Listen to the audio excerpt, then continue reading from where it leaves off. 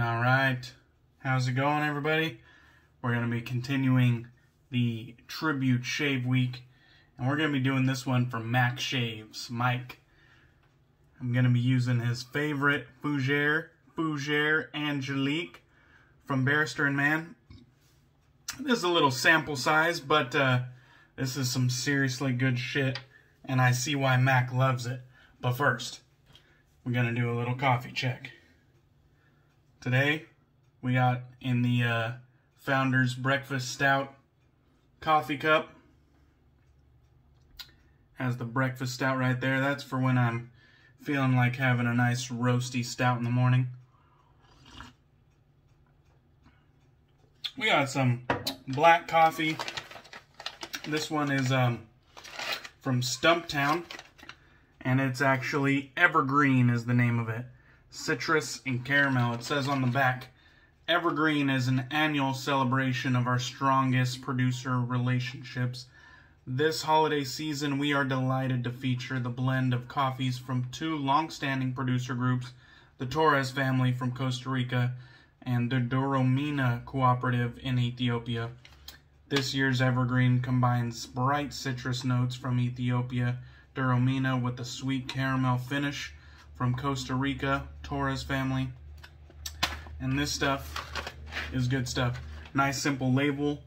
In all honesty, I drink a lot of Stumptown, but I bought this one simply for the name because Washington is the evergreen state. Wanted to see what this one was all about. Definitely has a tang from that citrus. I don't think it's like huge caramel on the finish, but it's there. It, this one's kind of one of those brighter um, coffees, and it's nice. All right, so that was a little nod to um, Mac, but I do have a beer on the side. do have a beer on the side. Since I'm a fucking degenerate, I'm going back to back.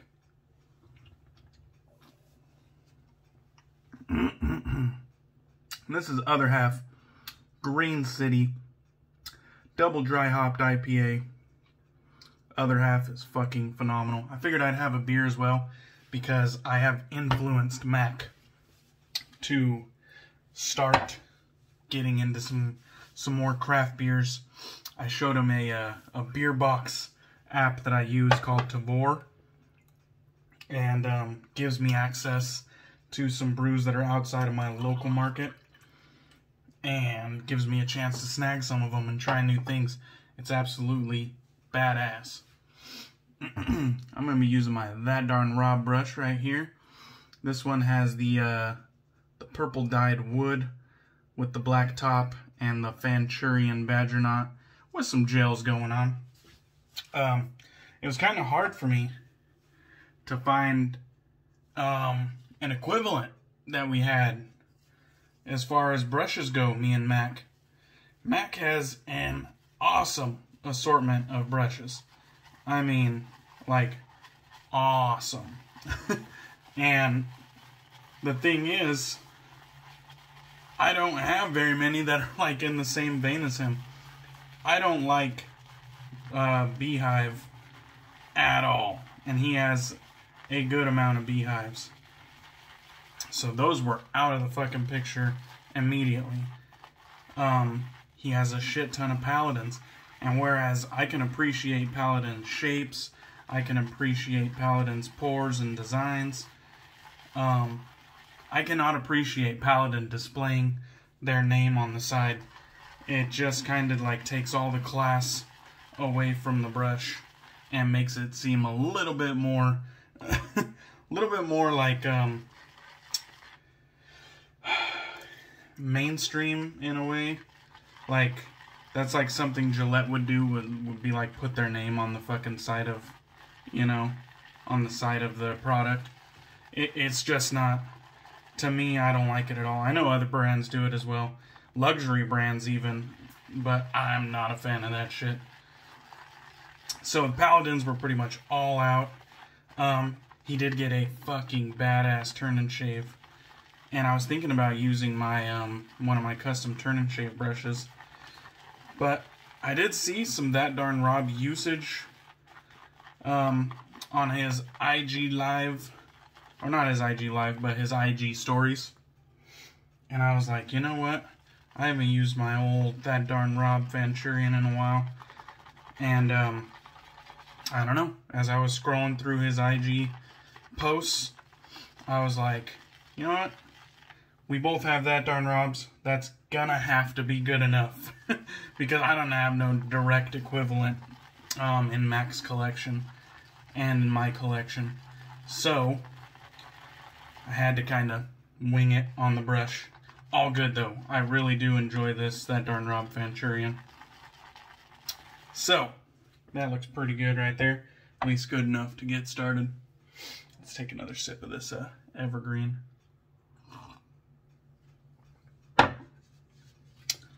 So, this Fougere Lux, I have used it before. Can't remember how long ago it was that I got, not Fougere Lux, Fougere Angelique. Can't remember how long ago it was that I got Fougere Angelique, but I got it along with Fougere Gothique, both of the samples, and they were, um, they were both really nice. I like both of them. I didn't end up picking up either one though.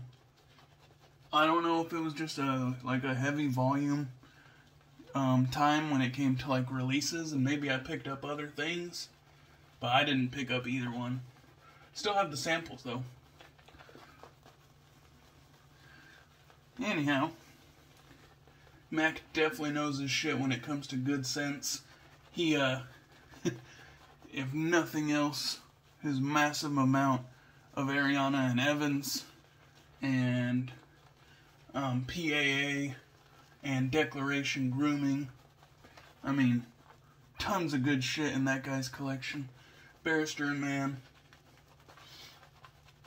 So he definitely knows a good fucking scent. And you can always appreciate Mac when he finds something that he likes because, boy, that man will fucking buy a duplicate set, a backup set, and then a backup for the backup and in the case of Fougere Angelique, he's going to buy a backup for the backup of the backup, meaning he has four trifectas, including the EDPs of uh, Fougere Angelique, which is absolutely impressive by any stretch of the imagination that a fragrance would captivate someone to get four trifectas definitely, definitely um, a feat for Barrister and Mann.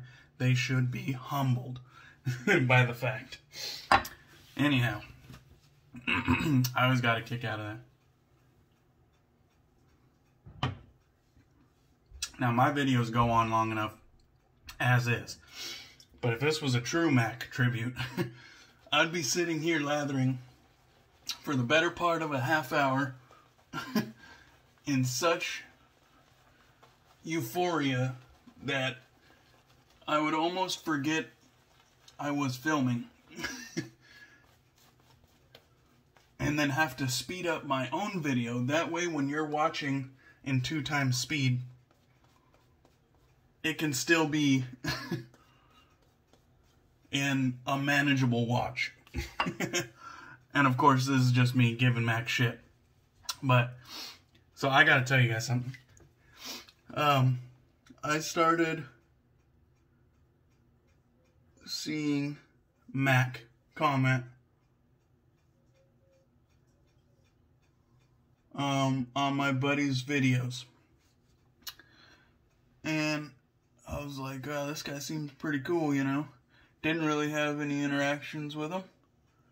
Um, but I followed him on Instagram, I believe and he, oh, I'm using the Timeless Bronze as well with a Med Prep blade. Gonna have to go into that in a second.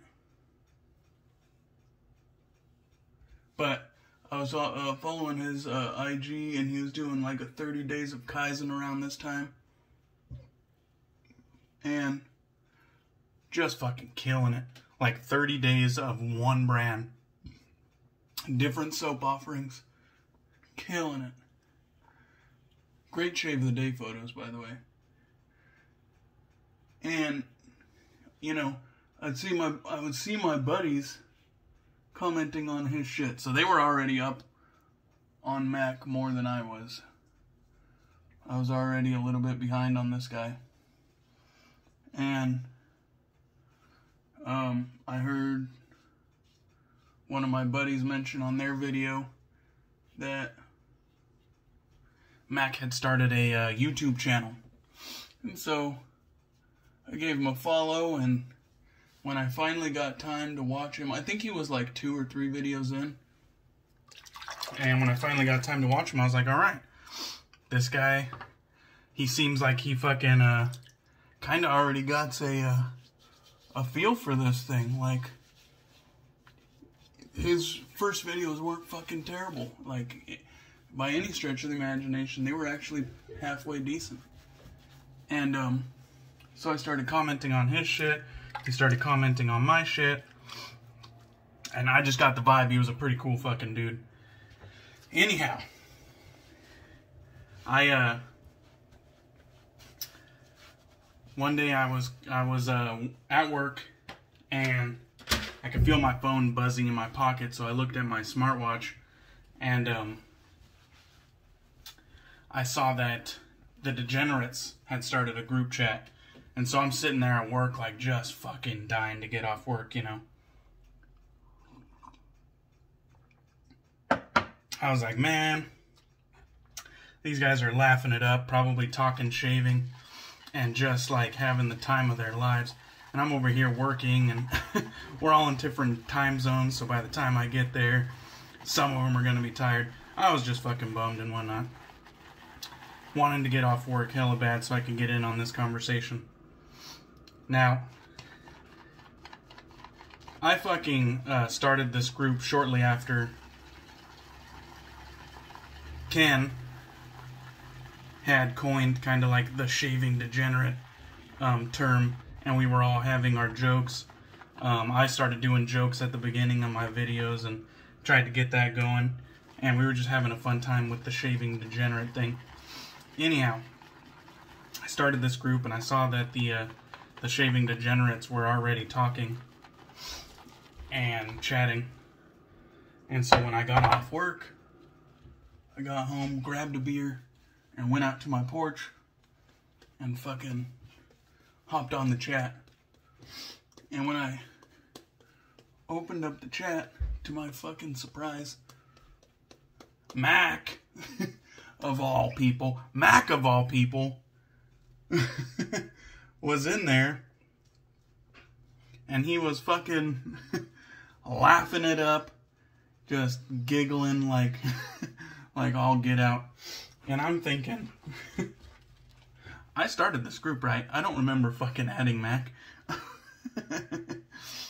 and, uh, the fellas let him in, and oh my god, it's been it's been a a riot ever since. Like Mac is a cool fucking dude, man. A great addition to the to the degenerates. And I get I flipped him some shit. I said, "Who the fuck let this guy in? Who the fuck let Mac in?"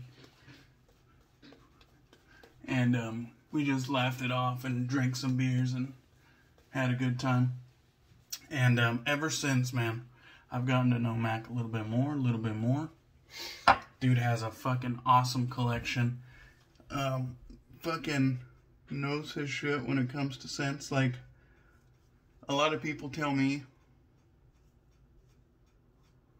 like, um, the way I describe scents is on point, and uh, I appreciate the way that you break down scents. I think Mac does a pretty fucking good job too. Like, he uh, he breaks it down in a way that I feel like you could really get an understanding um, quickly. Like sometimes it's short and sweet, but it's like on point. His descriptions. So I do appreciate that from Mac. He uh he always interjects or start he always intros his uh videos with some coffee or a beer and sometimes even wine and uh I need to get in on that wine intro sooner or later. Me and the wife used to have um, a little bit of a wine kick going on a, a while back. I need to do one of those wine intros sooner or later. But uh I like how he brings something else to the table. Kind of like I have my beer thing and he brings like coffee to the table as well. And who doesn't love some fucking really good coffee? So, I like I haven't known Mac as much as some of these other guys. In all honesty, he's uh, somewhat new to my like wet shaving experience, but Mac is a cool motherfucker, man. And if uh, we keep on like this, I think we're gonna be friends for quite some time. I don't know if you've seen his fucking unboxings, but uh, we were all doing these unboxing with with um, various knives and whatnot, and uh, he busts out a motherfucking sword for his unboxings, and it wasn't just a one-time thing. Like, dude was unboxing swords for videos in a row, and uh, it's just shit like that. Like he he he cracks me up with some of his like mannerisms. Um, you've never seen somebody apply splash like a motherfucking degenerate until you've seen Mac apply splash. I mean, he just he lets it go, and then he'll go for another round and then he'll go for another round. And you can tell he's like building to some sort of climax. he uh is just hilarious, dude. Strongest aftershave game on YouTube. No fucking doubt about it. so, like I said, man, if you guys have not checked out Mac Shaves on Instagram or on YouTube, you gotta check him out. Um, his channel's growing, and he's doing a fucking fantastic job. And he's got an awesome collection. He's got a shit ton of good gear. And I'm telling you, some of his mannerisms and shit, they they uh, they really get me laughing. I'm gonna bust out this Lancaster towel. I don't have a, a, cat, or else I would uh, dry off with my cat. Mac has a cat, and when he's shaving, his cat will uh, often interrupt his shave, and it'll start meowing and meowing and meowing, and uh, he'll indulge the cat. he'll indulge the cat, and it's called for attention, and so he'll be shaving, and you can hear it meow, meow, meow, and he's like, "Hey, I'm not done yet. You're gonna have to wait till I'm done." And the cat will go get meow meow meow and he's like, "Hey, it's not time to dry off yet. Like, I'll I'll get you when it's time to dry off because this cat's all fluffy and shit." And uh, it's just shit like that, like without even without even like losing a beat or taking a, a split second to think. It's like immediate. Dude sharp. You could just tell dude sharp. And uh and witty and funny. I do get a kick out of Mac. but I don't have a fluffy cat. So I will resort to my Lancaster towel, which gets the job done just fantastically.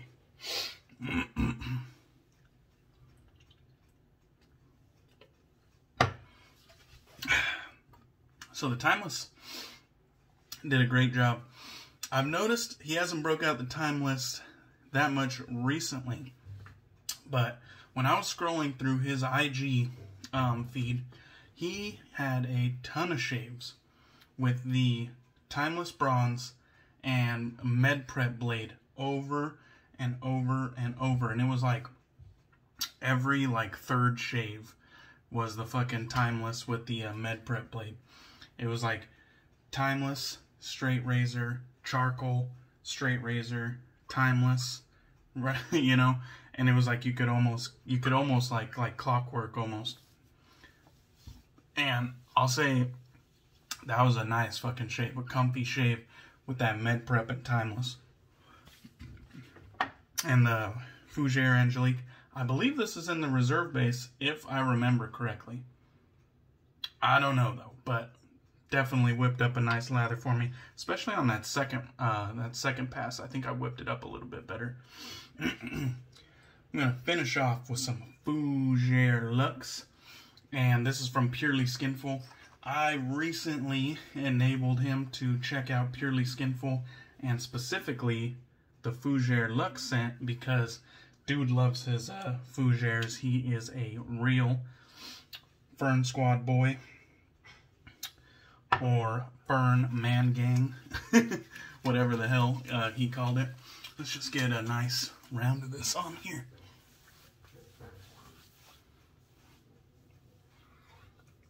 Oh, fuck yeah. That is just bright and beautiful. Similar, but not the same as Fougere Angelique. But definitely some good shit. Oh. Let's just do one more. This is a Mac tribute. Got to get a little bit more. Go ahead and work that in.